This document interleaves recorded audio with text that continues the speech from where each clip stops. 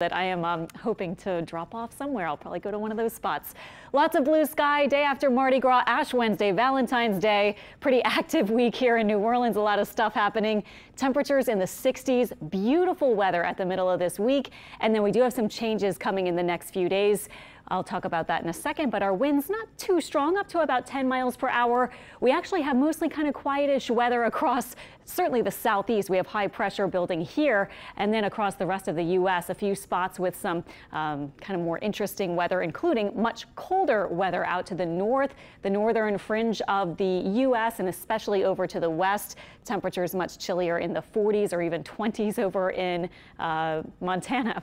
Today, temperatures for us topping out middle 60s, mostly sunny, almost a perfect day. So really pleasant for walks outside, anything happening tonight. If you're heading to Ash Wednesday services, doing something for Valentine's Day, whatever you got going on, looking really pleasant.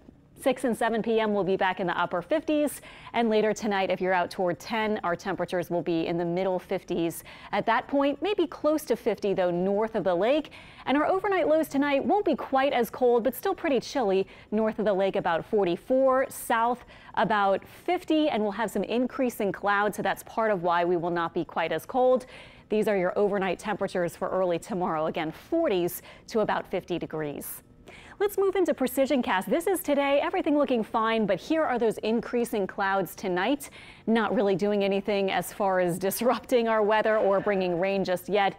This is tomorrow, Thursday, still quiet, but you can see the increased clouds, probably breaks of sun and some peeks of sun here and there on your Thursday afternoon. And then we'll move into Friday. Friday in the first part of the day looks pretty quiet. This is by lunchtime, couple showers possible but our rain chance will likely be going up. This model even has it in the afternoon, 3, 4 p.m. Already seeing some showers as our next front starts to move in. Some models have it much later, maybe more Friday night. We'll see, but there's at least a chance for some light rain in the evening and maybe even afternoon Friday.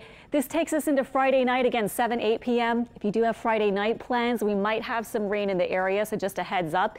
Doesn't look super heavy, but again, you might want umbrellas or rain gear just in case.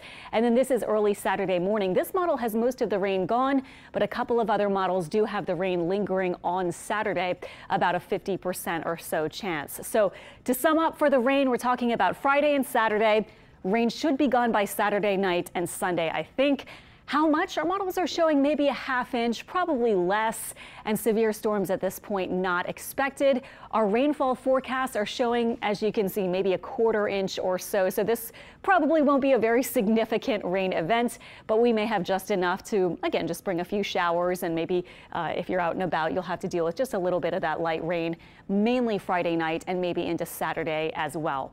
Moving into Sunday, though, look at this. We're getting some kind of cold uh, temperatures north of the lake back in the 37 degree range. That could be with some frost. However, we will still have a breezy feel Saturday and Sunday as that colder air moves in. So we may not see frost able to settle just yet, but I think Monday morning would be a more likely day for frost potential north of Lake Pontchartrain. Not south, though. Our lows just expected in the 40s for those cold mornings. Also wanted to point out Saturday we get the front moving in. It looks like early in the day. So through Saturday we might continue with a chance for a couple of light showers and then also it'll be chilly and breezy. So in the 50s with temperatures dropping through the evening and into the night especially. So a kind of chilly feel back for sure this weekend. But Sunday the sun comes back and Monday and Tuesday we're warming up pretty fast for early next week.